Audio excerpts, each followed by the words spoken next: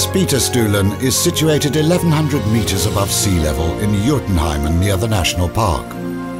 Spiterstulen is set amongst the highest mountains in northern Europe and is a popular starting point for hiking. Spiterstulen has been owned and managed by the same family for six generations, and even today, four generations live here.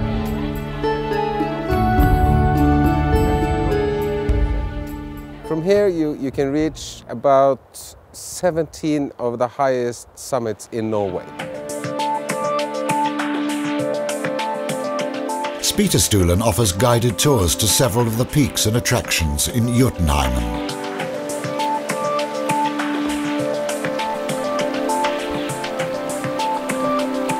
Now we're on our way to the Svellnos Glacier and we'll uh, use maybe two, three hours up to the glacier edge.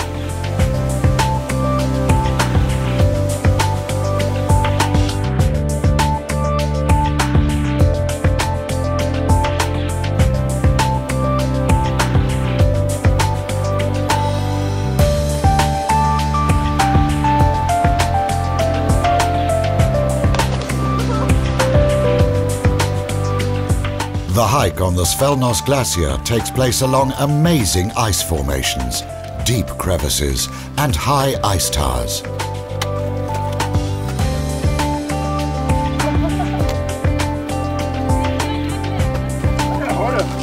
Uh, it was really a great experience. Uh, I was a little afraid sometimes, but uh, on the glacier with the guide, it was quite okay. But I'm happy I'm down now here on, on Earth again.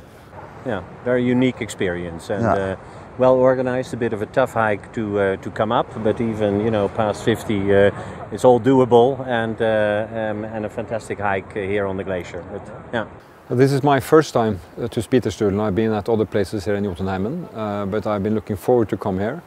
And I've not been disappointed because this is a major point of departure for the, uh, for the great mountains of Norway. And today I've been here with my uh, son and a few of his friends to reach Galdhøpiggen, which is a seven, eight hours uh, hike uh, in good conditions and uh, back to Spiterstulen with a very warm reception and hospitality, good food and, and good bed.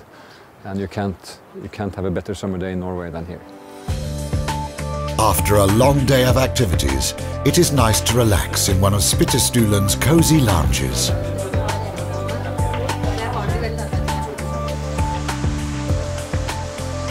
A wide variety of rooms are available at Spiterstulen. There are small cottages and family units with baths, as well as hostel-type accommodation with bunk beds and shared washrooms. We are in the middle of Norway, we are in the heart of Norway, and I can prove it if you look up there. There you have the heart of Norway.